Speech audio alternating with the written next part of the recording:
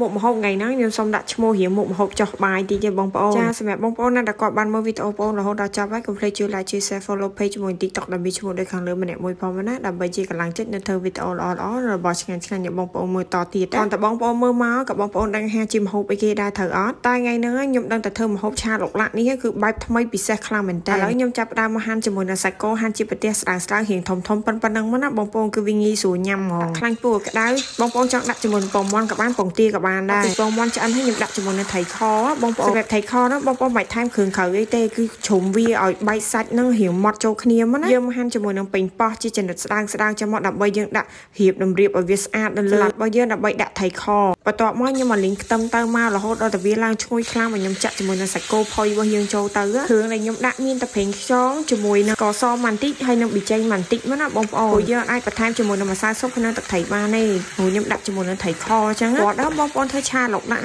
ដាក់តែសាច់គោធម្មតាជាមួយនឹងពងមាន់ហើយនឹងពងទាថ្ងៃនោះចង់ឲ្យបងប្អូនឆាលុកដាក់ដាក់ជាមួយនឹងត្រីខកំប៉ុងជ្រុំវាបែកសាច់ចង់មកខ្ញុំធានាខ្លាំងមែនតើគឺបងប្អូនញ៉ាំទៅដឹងតែប្លែកមកហើយញ៉ាំបាយបានច្រើនទៀតហើយបើនិយាយពីរសជាតិវាគឺថាឆ្ងាញ់ខ្លាំងមែនតើញ៉ាំបានទាំងត្រីខញ៉ាំបានទាំងសាច់គោហើយនៅពេលដែលយើងផ្ទាប់ជាមួយនឹងបន្លែជាមួយនឹងទឹកម្រេចហឹលហឹលជូរអែបនឹងទៀតបងប្អូននិយាយថាឆ្ងាញ់យូរឆ្ងាញ់ខ្លាំងយូរតែមែនតើញ៉ាំជាមួយនឹងបាយក្តៅក៏បានជាមួយនឹងបាយកកក៏ត្រូវគ្នាដែរអញ្ចឹងហើយបាទខ្ញុំហៅថាឆាលុកដាក់ថ្ងៃហ្នឹងគឺឆាលុកដាក់បែបពិសេសហ្មងនៅពេលដែលយើងញ៉ាំឆាលុកដាក់ថ្ងៃហ្នឹងទៅគឺអត់ងាយទលាន់ទេណាបងប្អូនគឺដឹងតែញ៉ាំអស់អស់ពីចានតែហ្មងបងប្អូនចង់ផ្លែកមាត់អាចសាកធ្វើនៅផ្ទះញ៉ាំអញ្ចឹងដូចខ្ញុំបានជាចុងក្រោយបាយបាយបងប្អូនខ្លាំងមែនតើ